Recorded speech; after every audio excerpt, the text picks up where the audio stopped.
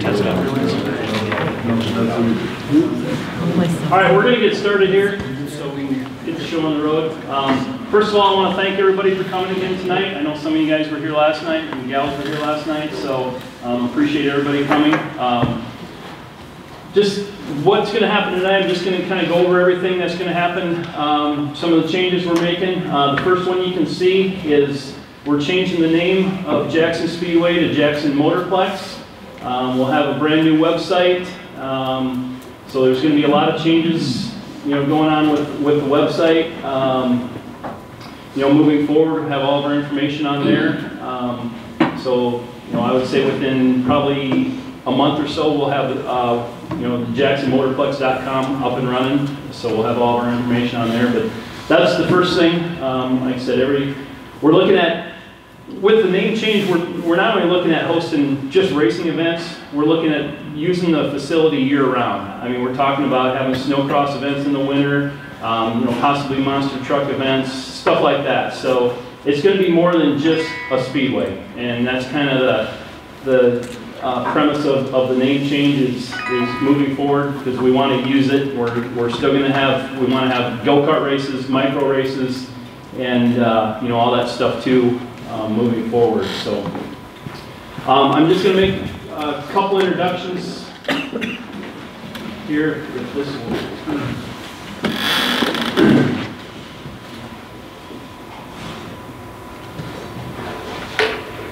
Just like watching KELO TV.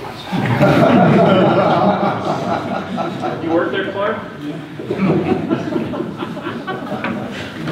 It worked earlier. I did.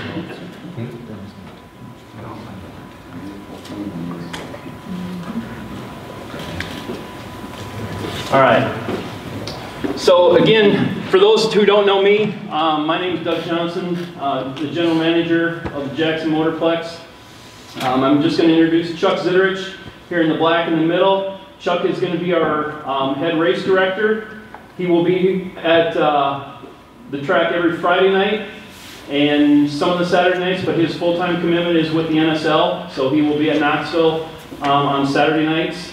And then, I think everybody still knows John McCorkle, you haven't forgot about him. Um, John is still going to be involved with us. His, he's actually going to be a consultant helping us out, and I'll kind of let John explain, you know, what his role is uh, moving forward and how he's going to, you know, help us out. So,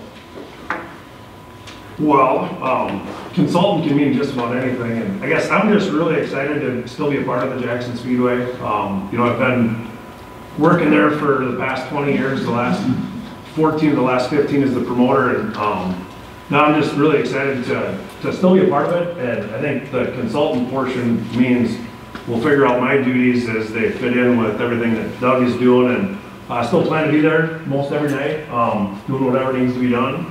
And, uh, happy to, uh, maybe just be an employee, as, uh, I think everybody knows I got a full-time job, three little kids, and sometimes the time constraints, I'm, was chasing, chasing, uh, trying to get everything done in a timely manner, and, um, just happy to have a lot more help and a, and a, system in place with a management team that, uh, Todd has put together, and, um, a lot of the stuff we're doing, I'm really excited about. I've thought for years, and I've expressed this to a lot of people in this room, I've been intrigued by the split format with doing the sprint cars on a Friday night, because there's not a lot of competition for that, and I think our IMC classes, uh, can stand on their own on Saturdays, and just excited to help move forward and, uh, take the Jackson Motorplex, now I'm gonna have problems, maybe calling it the Jackson Speedway for, for a little while anyway, but, um, just really excited to be a part of it.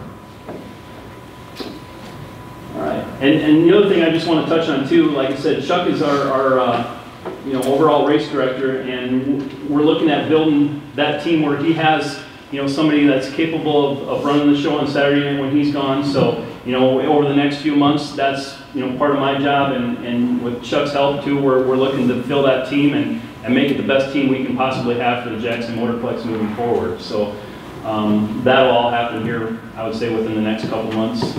But um, first of all, like like John just touched on, um, for those of you don't, that don't know, we're actually going to be racing two nights next year um, in 2016. With the Friday night classes are going to be all sprint cars, um, featuring the NSL 410s, 360s, and the IMCA Race Saver 305 class. So those three classes will be our, Fri- consist of our Friday night program. Um, The one thing that we are changing and moving back, or our start time, is with the hot laps that's starting at 8 o'clock. The biggest reason there is, well, there's two reasons. One, to help save the racetrack, and two, to give people time to, to get off work and still get there in time to, to make the race an event. So, you know, there's been times in the past where, you know, we start at 6, 6:30, and track takes rubber. I mean, it's, it's kind of a waste. So hopefully by moving the start time back, we can help save the racetrack on, on Friday nights, and also give people a chance that may have to come from, say, the cities or Sioux Falls, a chance to make it there on time and, and not miss anything. So, um, you know, with, uh, talk just a little bit about the format on Friday nights. I mean, the, the sprint cars will, the 410s will still qualify just like they normally do for a typical NSL show. So that's really, nothing's gonna change there. Um, you know, the, the race savers, they have, IMCA has their format, so, you know, they'll line up according to that. And then the 360s, um, you know, we're still working on a couple ideas for that. I mean, nothing's set in stone there, so we'll talk about, you know, that a little bit more later, so. And then on Saturday night is gonna be our, our stock car classes with, uh, IMCA sanctioning with, with the A mods, stock cars, sport mods, hobby stocks, and sport compacts. So that's gonna be pretty much what we've always run on, on Saturday nights in the past, just minus the sprint cars. So the stock car guys will actually have their standalone program on Saturday night, and, um, their hot laps, right now, we're planning on starting at seven o'clock, so, um, we'll move that back a little bit from where we had it to, to, to possibly help save the racetrack there too, so. This is kind of small, but you can kind of, it just kind of breaks down their schedule, um, and we'll have this on the website here, hopefully, um, as soon as that's up and running, but I just kind of got it broken down by, by race dates. Um, you know, on, on the left-hand side is all the, the Friday night shows, and on the right-hand side is, is the Saturday night shows. So, you know, typically, every Saturday night, um, you know, we're racing the stock cars. Right now, I believe we have, uh, 15 Saturday night shows scheduled.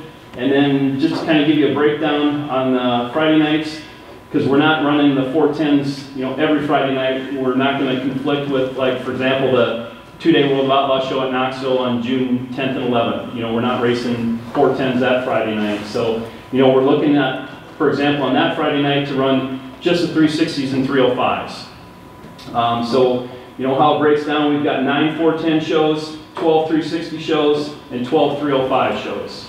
You know, for example, we also have a World Outlaw show with the NSL on June 24th. That particular night, we won't run 360s, we'll just run the 305s.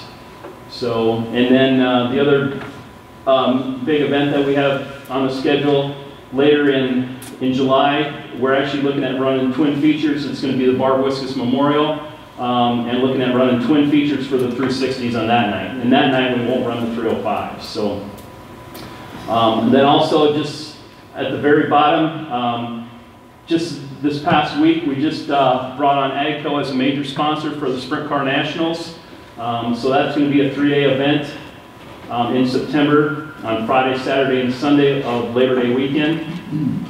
So, and then uh, we're still looking at a date for the Stock Car Nationals. That we're planning on having a two-day event um, in late September, either the third or fourth weekend of September. We haven't nailed that down. I'm actually talking with IMCA um, next week, um, just so we don't conflict with anything. I know Worthington's having a big uh, stock car race in early October, so we're just want to make sure we work with all the other area tracks and don't conflict with, with any race in that. But we'll have that, uh, those dates released here real soon as well, so.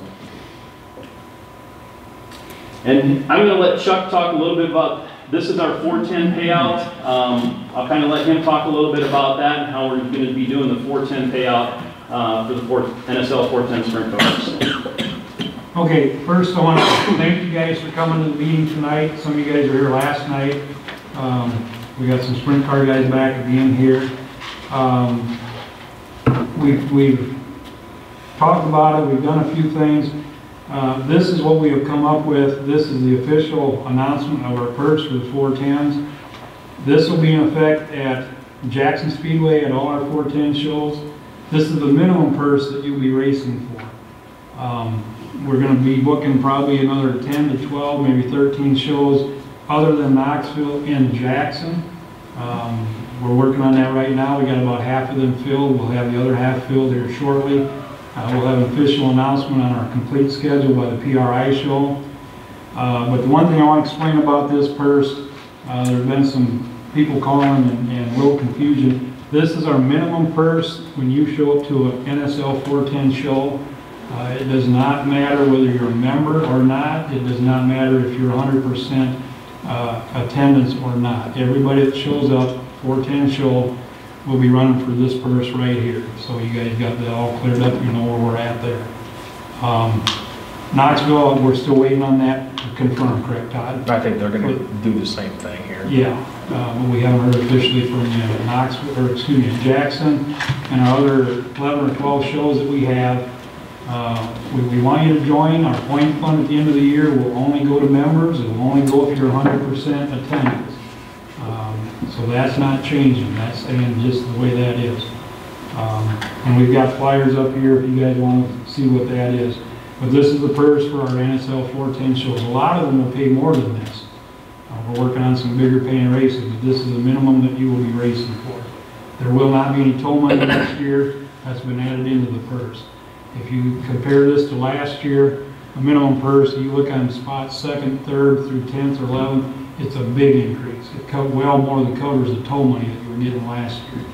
So, it- it's about $14,000 more in the A-main purse than it was last year. And that's the minimum you'll have, that you'll be running for. Um, uh, we don't think we'll be changing any rules in the NSL 410s, tire rules, all that. We're looking to keep that the same. I don't see Knoxville or anybody changing any rules there. Uh, But like I said, we'll have our schedule out here, uh, official schedule in in two to three weeks. It'll be ready by PRI show for sure. Um, We are not going to race any Mondays through Thursdays this year, next year, excuse me.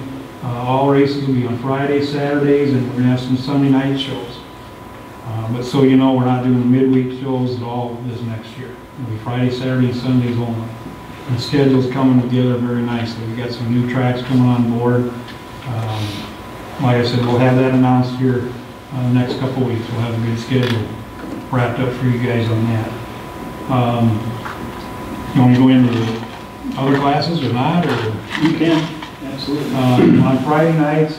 And again, I'm gonna learn a lot about your IMCA guys, but as far as like rules, uh, the purses right now, uh, we got copies of that over here, correct? Yep. Your purse is the same as you ran for last year on Saturday nights. Uh, the rules, we control, we do not control the rules, you guys all know that, IMCA does.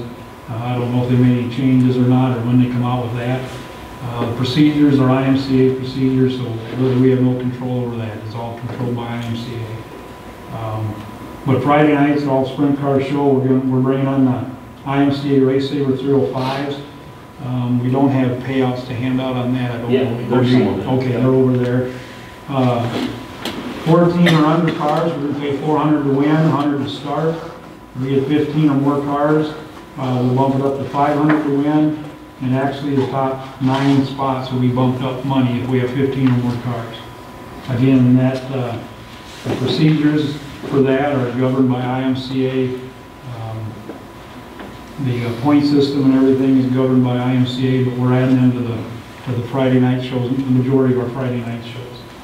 Uh, So that's where we're at with that. The 360, uh, the minimum purse we'll be running for, and there'll be shows that will pay more. But every, every 360 show at Jackson will be an NSL uh, points race. Uh, Your points you earn, if you're running the gasket, will go towards the GoMoney.com cash bowl. Um, And like we told the guys last night, uh, it's not required to run that gasket, but if you don't run the gasket, then you're running for the same 1,500 to win, 250 to start, but you will not be eligible for the point fund or the cash bowl money at the end of the year. Uh, If you're the first guy with a gasket and you finish sixth in the feature, but you're the first guy with a gasket, you're gonna get first place points. The second car will get second place points regardless of where it finishes. Um, And we explained that last night, and a lot of you guys were here last night, so you guys heard all that. But uh, that's the deal on the 360s. Um, And again, we're gonna we're gonna try to get in and out in two and a half to three hours on Friday. We're gonna try to save the racetrack. Uh, Friday night, people work. We're gonna try a later start and get more people to come, uh, not stay home if they gotta work till five or six o'clock. Uh, we're looking forward to it. We're making a lot of upgrades, changes in the racetrack. We're out there today, Todd and I and Greg and the surveyor guys. Uh, The track is a lot better this year than it has been, and it's gonna be a lot better next year. Uh, By the, the- the shape that they're doing and stuff, it's gonna be a better racetrack. I think it's gonna be a lot better racing next year. Um, Along with all the other improvements, which I Doug will get into later, but, um, other than that, I think that's pretty much it for the sprint cars on Friday. If you have any questions, you can ask, or afterwards, come up and ask too, and I'll, I'll try to answer whatever I can on the sprint cars for you guys. And then this just kind of goes over the Saturday night, uh, weekly Saturday payouts. It's actually staying the same as what it was last year. There's no change whatsoever. Um, you're Still going to pay 700 to win the IMCA mods. So this payout is identical to what you guys raced for last year. So there's actually no change in the Saturday night uh, stock car purse. So, and that flyer's over on the table too, if you guys want to pick that up before you leave. So that, this exact payout I'll, I'll throw in there too, Doug, that, you know, it's likely for a lot of the memorial races, we'll still do a lot of those, the Bruns Memorial, Killen Memorial, um, the Danny Williams Memorial for the sport mods. Um, Red Line Racing was good about supplementing some purses with different, different fun activities. Uh, Ryan Killen, I'm sure will be involved with a lot of the IMCA stuff still, putting together some, last we did the Hobby Stock Clash and, um, so really every class has got a, a special or two, uh, that will still be, still be doing going forward. Um, Again, here's just some of the special events that we currently have. Like John just said, there's going to be a lot more coming up, but some that we can confirm right now. Um, You know, May 13th, uh, which will be our first race, is going to be the Fulton Brothers uh, Spring Sprint Car Nationals that Friday night. Um, Again, that'll be the 410s, 360s, and the Race Saver 305s. Uh, The World Outlaw Sprint Cars will be here on the 24th of June. Um, The 29th of July, again, is twin 360 features with the Barb Wiskus Memorial. Um, And then the AGCO Sprint Car Nationals will be September 2nd and 4th. And then, like I said before, we're looking at a two-day show for the IMCA stock cars in, in late September. So um, those are what we have confirmed specials as of right now. And like I said, we'll continue to add to that as, as we get, you know, deeper into this and get more people involved, so. Um, The couple things here, um, just want to touch on for everybody racing next year at Jackson Motorplex, transponders will be mandatory. Um, We're going to go to the electronic timing scoring scoring with mylaps.com. Um, I'll, the next slide, I'll, I'll talk a little bit about that and, and how you can get a hold of those, but um, every car, you know, will be required to have uh, transponders next year in 2016, so. One thing that we talked about, and I know what they're doing with the NSL, um, we're also looking at doing with Jackson Motorplex, is having a online weekly racing show, you know, maybe a 10 to 15 minute just recap of, of the, uh, that week's racing program, um, so people can see that online. Um, and then we've also talked for the stock cars, um, you know, like I said, we didn't increase the purse at all. We're possibly looking at a, a loyalty program. Say, for example, if you run a certain percentage of, of all the, the 15 races that we have scheduled, um, there's a possibility of having uh, some sort of loyalty program too next year. So we'll, we'll announce that at a later date as well. Here's the information about, it's kind of cut off there on the screen. Um, with the MyLaps. Actually, we, Chuck and I have done some research here on this in the last day or two, and um, a lot of guys that have run uh, the transponders in the past, you- you're used to using this red um, transponder down here in the, in the corner. MyLaps is actually replacing that with this um, X2 transponder um, that's going to take the place of all the red ones that have been out there. There's also been some yellow ones. I know guys, they're not compatible with a lot of tracks. Some guys have used those in the past, so um, you know, we're actually going to be talking to these guys at the PRI show as well, but um, Chuck had made a phone call and talked to them today. How it works is they have a subscription, so for one year, you can actually get the transponder for 160 bucks. You get the transponder, the bracket, and that little silver device is actually the charging um, system that comes with a USB cord that you can plug in just like a cell phone. So that, that hooks up to the transponder and you can charge it um, that way. So for 160 bucks, you get all that and you get one year subscription. So at the end of that year, um, that transponder will not work anymore.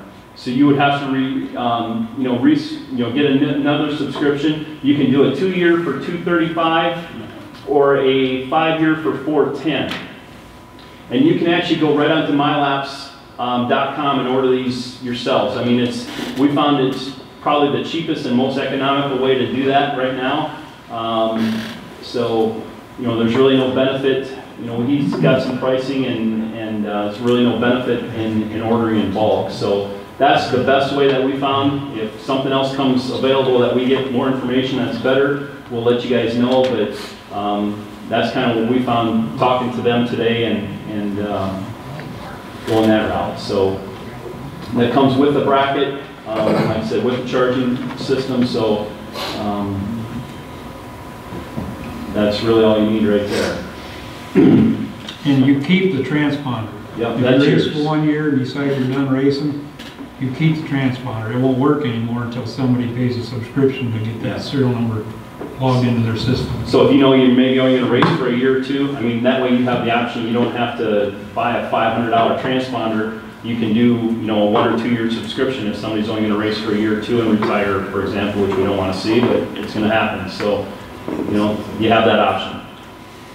So, a couple other things I just wanna mention here, um, we don't have them quite ready yet, we'll have them ready for the banquet, is the driver information sheets, we'll have those on our website too. I want everybody, we'll have them there, uh, next Friday night at the banquet, but I'd like everybody that's racing at Jackson Motorplex to fill that out, because we wanna, we wanna build our, our drivers on our website, and promote you guys on our website, and, you know, we're looking for photos to use for that, along with the weekly program. Um, our intentions is to have a very nice four-color weekly program um, with driver uh, profiles throughout, you know, for all the classes.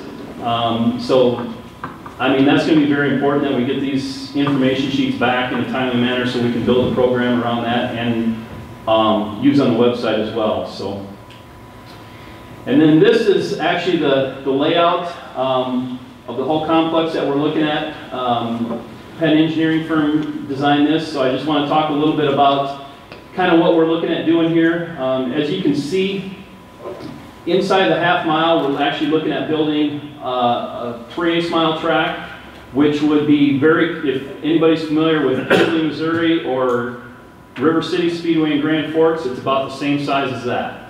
Um, I've got some dimensions here to kind of show you on the, on the next slide, but this kind of lays everything out. Um, you know, we're also, if you don't know, we're moving the pit area off of turn one and two is actually going to be to the east there with a set of bleachers, um, you know, for the, for everybody in the infield to watch.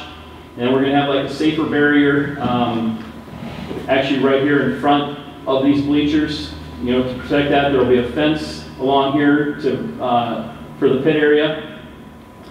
And then also, as you can see right here, we're actually going to have a, a catwalk, so to speak, connecting uh, the turn one or the pit bleachers with the main grandstands or main bleachers. So that way, as the cars come off the track, you know, you, there's no fans in the way. You, you, you'll have to walk above on the catwalk, and that way we can keep traffic moving and, you know, don't get anybody hit or run over that way too. So people can go back and forth between the pit area and the main bleachers if they wish.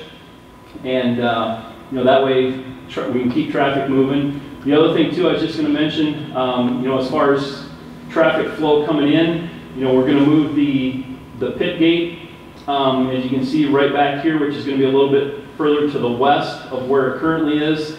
Um, all the haulers and everything will still come in the way you always come in. Um, but the nice thing about it, when you leave, there'll actually be an exit right off here to go out this county road.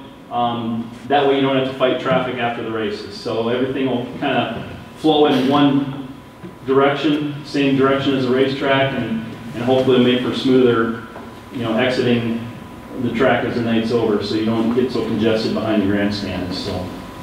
Um, Just to kind of give you an idea, that, that layout of the smaller track, um, you know, is roughly 500 from I'll back up here just a little bit. You can, so from the, the top of turn one and two to the top of turn three and four is actually 564 feet long. You know, if you compare it to Worthington, um, Huset's, uh, Park, Raceway Park in Jefferson, um, you know, River Cities in, in Grand Forks, there's the current dimensions from what, uh, we just measured on Google Earth using those dimensions. So, you know, like I said, it's, it's a little bit longer than, than River Cities. Um, you know, it's actually a little bit shorter than Huset's to kind of give you an idea of where it fits in there. So, um, but, you know, that's something that's definitely going to happen. Is it going to be ready in May? Probably not, or I'd say more than likely not, but it's, it's something that we intend to maintain both racetracks moving forward. Um, You know, we'd like to possibly race the sprint cars on the short track and, and maybe the stock cars on, on the half mile. Um, You know, we've talked with the micro guys, you know, they've been looking for a racetrack, and, you know, we feel this, this, these dimensions will give them a a fairly racy racetrack for the micros, so, um, you know, they've raced at pretty much most of those tracks that we have listed up there, so, um, you know, it's, it's not any bigger than, it's actually smaller than Huset's, um, you know, for the micro guys, so, so that way we can accommodate everybody and, and hopefully put on a good show. The one thing too, just to, to mention that this racetrack will actually be, um, sunk down, so it won't block anybody's view from sitting in the grandstand. So actually, from my understanding, the, the banking will actually be even with the, what the guardrail is right now. So that track will actually be lower than, than the current track that's there. So there'd be no obstruction of view, you know, for people sitting in the grandstand, so. That's pretty much all I got. If anybody has any questions, we're open for any questions. Fire away.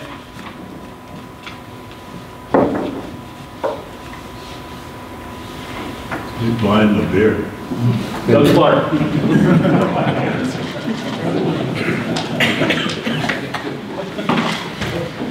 Anybody else, any other tracks around gonna go with that transponder, or what's the deal? A lot of tracks, so I know, most tracks, I would say in the country are eventually going to that. The thing is that it's gonna eliminate human error. Right. The biggest thing, you know, I mean, we've all had that happen before, whether if you've raced for any period of time, you, you've, you've had issues with, with scoring. This is gonna eliminate that. You know, you don't have, you can go back and get a printout. I mean, Chuck can testify to that last year with some NSL shows where somebody had a question and put what position they were in. You can go back and print out lap by lap by lap, and, and he can show you exactly where you were. So that's the biggest thing. Um, you know, I talked to Justin with Redwood and Worthington. Yeah. They do have loops there. Um, I don't know if they're gonna go to transponders next year, but they do have the loops, so, you know, it's gonna be a matter of time before I think every track does. You know, if you go to Hartford, Huset's, they're all, they're all using them, they've been using them for the last couple of years, so.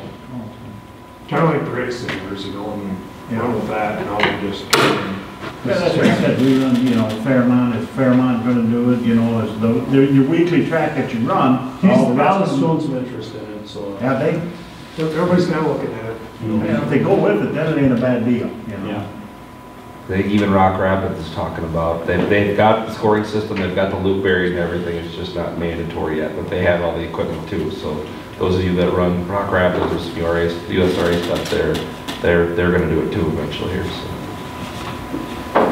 And Doug, you can buy that without a subscription too, I think, right? Just own it. Yeah, but I think that way, if you do it, from what we looked at, is like, what, four hundred or five hundred some It's, dollars? it's close to four hundred dollars to buy. But then, then you own it, you got no subscription. You just own it. Right. Right. Mhm. It's, it's yours, it works as long as you've got it. Yeah. In our current ones, like I've had mine forever, they'll still work. Yep. Oh, Mhm. Yep. Yeah, if you already own them, I mean, those, those, the red ones, they should still work Yeah. just fine. So they've just gone to a new one. I think this just came up with this just year, recently.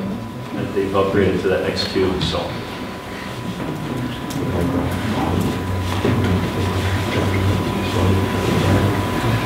Anything else? Questions, concerns? The blue, that's where the go-kart track you're looking at putting. Um, possibly. I would say right now, the go-kart track is probably not gonna, is probably gonna stay where it is for the current year. Um, With everything we got going on, I would say that's pretty safe to say. We have permission to move it there. Yeah, but it'll probably stay there yeah. where it's at right now. Yeah, I just Especially, we're gonna focus on trying to get that inside track completed because it's gonna be good for all forms of racing, micro to That's gonna be awesome. everything, so. yeah. We will have a go-kart track because like I said last night, I, I still feel, you know, that's where our, our next generation, generation of racers are gonna come from. They're just not gonna fall out of the sky and hop in a sprint car. So we've got to start them young and, and get them involved in go-karts or micros or something. Um, so we have a next generation of racers down the road. So we will have a go-kart track some way, shape, or form. Yes, sir. So if you get the inside track done, is that gonna be, like, the four tens are gonna run that primarily, or that's gonna be an occasional deal, or don't know yet? I'd say don't know yet.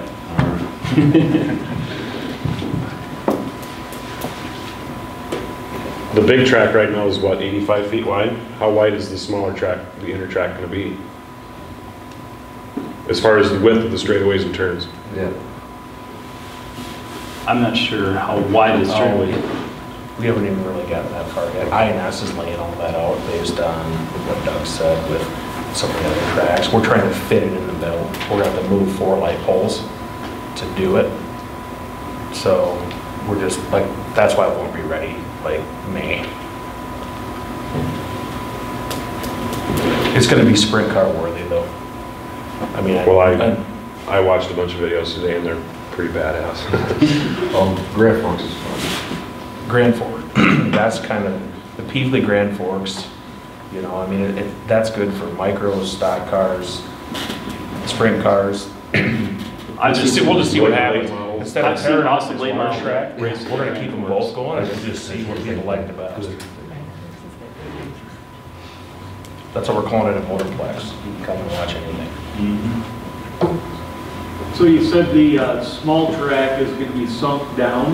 Yes, Uh, What's the visibility going to be from the grandstands? very good, because if you go there right now, the first beam on the A part of the grandstands is up. We're starting 11 feet up in the air for your, the handicap accessible. So if you go there right now and you look at it, you're gonna be looking down into the small track and the big track. So I mean, it's gonna, we're, it's gonna be, So the new grandstand is gonna be a lot higher off the the new grandstand start will be about row 13 at the old grandstand when we start, so. Mm-hmm.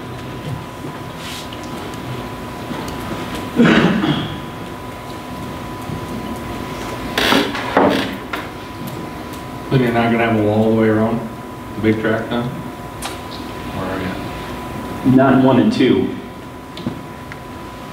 There won't, be- there'll, there'll actually be a, like a safer barrier, I would say, in front of where the bleachers are. The Um, bleachers in one and two, you see going north and south, will start 12 to 15 feet up in the air with a safer barrier. So there'll be a room to, what do I say, tumble or whatever. Um, If we have to put a wall around there, and we keep the big track the way it's going, we'll put a wall around there. But it'll be a stub wall where you flip up and over, you know, and land out there. But right now, I mean, the small track, our intention is to make it very racer friendly where you're not, there's not a lot of obstruction, but you would go off into the big track or obviously won't go into the retention pond, but it's gonna be forgiving, kind of like maybe a Rock Rapids or something like on the, on the one, so, yeah, one and two in Rock Rapids. So it's forgiving, you'd, you'd go onto the bigger track.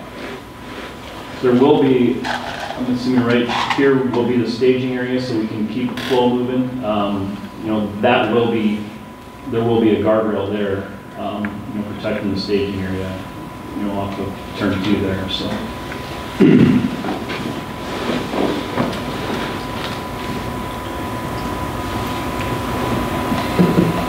Our big key is the flow, keep everything going. So we can get shows moved through and fans happy, drivers happy. And, and the split classes, you know, I mean, I think it's gonna be great this year with running our, our fender cars on Saturday night because it gives you guys the track you want. Sprint cars can have the track they want, you know, that's always the question, trying to balance that out, have a sprint car track or a stock car track. So we're really gonna con, Cater and John mentioned that specials, and we're really gonna try to build the stock car program, defender program at Jackson Speedway too on Saturday nights and have that a premier Saturday night program. So it's not all just about the sprint cars, it's about building the whole program.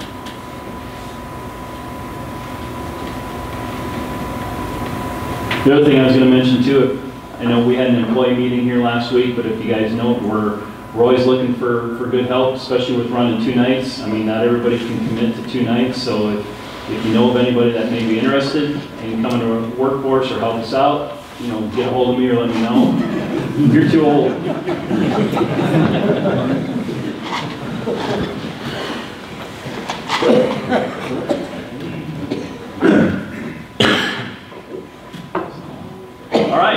all I got. You guys are more than welcome to stick around and visit or ask us questions off to the side if you want. But uh, thanks again for coming, and and like I said, you know, look for the website. We'll have that up and running here shortly and have a lot of updates on there. So thanks again.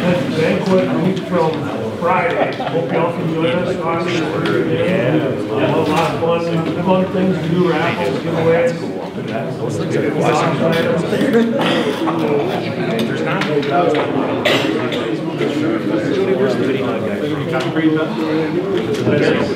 No, it's actually.